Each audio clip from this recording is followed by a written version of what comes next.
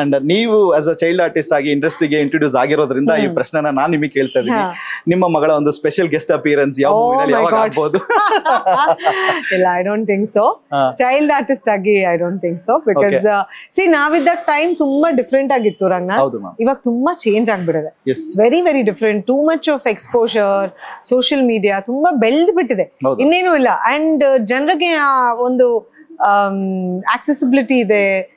ಫೋನ್ಸ್ಗಾಗ್ಲಿ ಇದಕ್ಕಾಗ್ಲಿ ಇಷ್ಟೊಂದು ಇನ್ಫಾರ್ಮೇಶನ್ಗಾಗ್ಲಿ ಗಾಗ್ಲಿ so I think for us we want to keep her life as normal as possible ನಾನು ರಘು ಹೆಂಗೆ ನಾರ್ಮಲ್ ಮಿಡಲ್ ಕ್ಲಾಸ್ ಹುಡುಗ ಹುಡುಗಿ ಅನ್ನೋ ತರ ಬೆಳೆದ್ವಿ ಅದೇ ರೀತಿ ಅವಳು ಬೆಳಿಬೇಕು ಅನ್ನೋ ಆಸೆ ನಮ್ಗಿದೆ.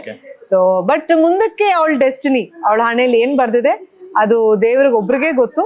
ಅಂಡ್ ಅವಳಿಗೆ ಏನೇನ್ ಸಪೋರ್ಟ್ ಬೇಕು ಎನ್ಕರೇಜ್ಮೆಂಟ್ ಬೇಕೋ ಅದು ನಮ್ಮ ಕಡೆಯಿಂದ ಖಂಡಿತ ಅಪ್ಪ ಅಮ್ಮ ಮಾಡೇ ಮಾಡ್ತೀವಿ. And will try to guide her in the right path but ultimately ಅವಳ ಡೆಸ್ಟಿನಿ ಅಲ್ಲಿ ಎಲ್ಲಿ ಕರ್ಕೊಂಡು ಹೋಗುತ್ತೆ ಗೊತ್ತಿಲ್ಲ ಯಾಕಂದ್ರೆ ನನ್ನ ಪ್ಲಾನ್ ಏನೋ ಇತ್ತು. ನಾನು ಇಲ್ಲೆಲ್ಲೋ ಬಂದೆ. So it's like you never know